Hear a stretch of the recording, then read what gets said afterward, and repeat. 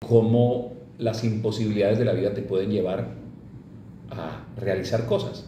Pero obviamente todo desde el punto de vista de la comedia. Pero la gente cree, dice, ¿se va a poner a predicar? ¿Eso es solo mensaje?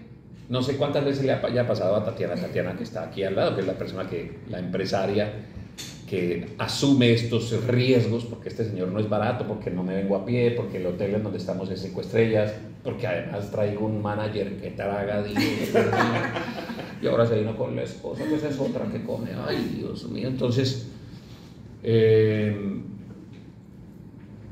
eh, yo, yo, no, yo no pedí hacer lo que intenta ante todo es eh, hacer que la gente se haga responsable. Son dos horas de risa, no paran de reír desde el momento uno, ¿verdad, Tatiana? Así es. Es desde el primer momento, están guau, guau, guau, guau. Pero los shows de José Ordóñez son una montaña rusa. Estás muerto de la risa y de pronto entras a la reflexión y la gente apenas hace. Mm".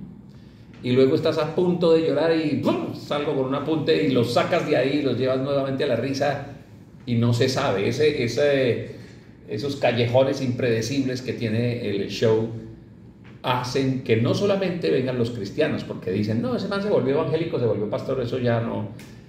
Pero vienen no solamente aquellos que tienen una, confiesan una fe como la mía, que soy evangélico, cristiano, sino que además vienen de otras denominaciones y además vienen gente que ni cree en Dios, que se quiere acercar un poquito más a, Dios. Mire, ahí están los de las Reuters que no, no habían llegado.